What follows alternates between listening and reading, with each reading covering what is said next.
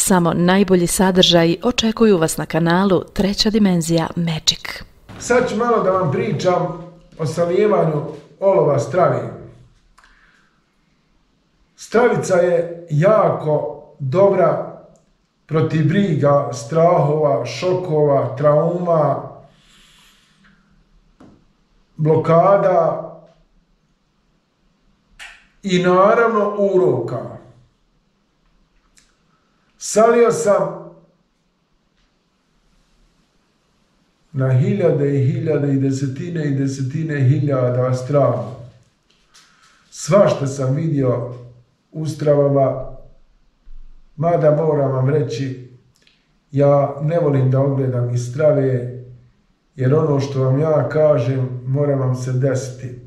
Ali neću u to da ulazim, niti da preuzimam odgovornost za vaš život davajući vam sugestije ili praveći neke priče od tog saljemenog olova, naravno da se, kad se salije strava, da se oslikaju određene figure, pa se iz toga tumači kao značenje strave, međutim, to je nebitno. Sva ta priča je nebitna. Priča ko priča, priči nema nikada kraja.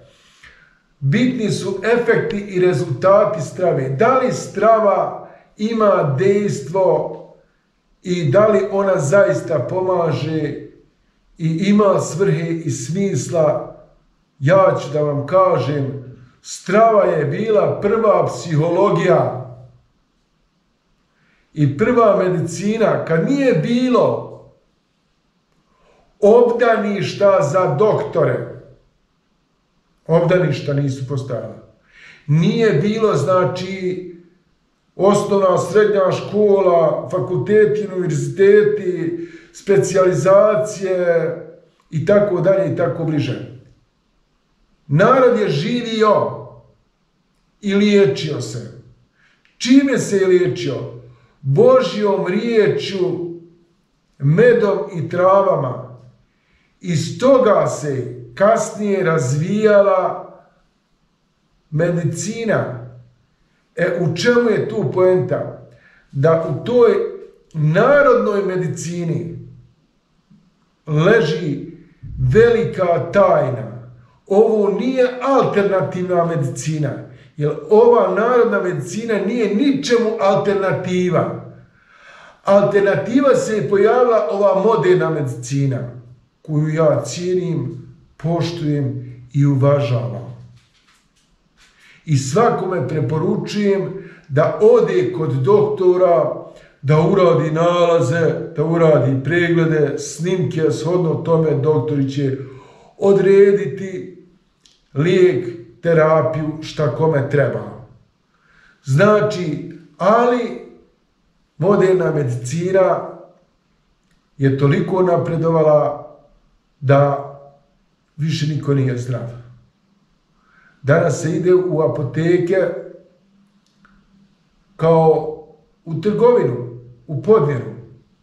Znači, daj vitamina, daj, daj ovoga, daj onoga, daj onoga i opet ne pomaže. Šta se dešava?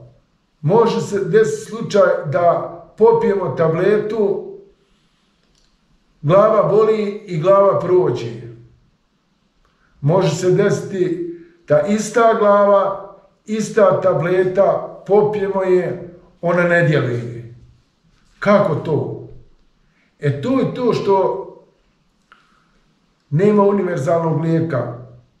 Ima lijekova neko, nekome pašu, a nekome ne pašu. Samo najbolji sadržaji očekuju vas na kanalu Treća dimenzija Magic. Ne mijenjajte kanal, samo najbolji sadržaji očekuju vas na kanalu Treća dimenzija Magic.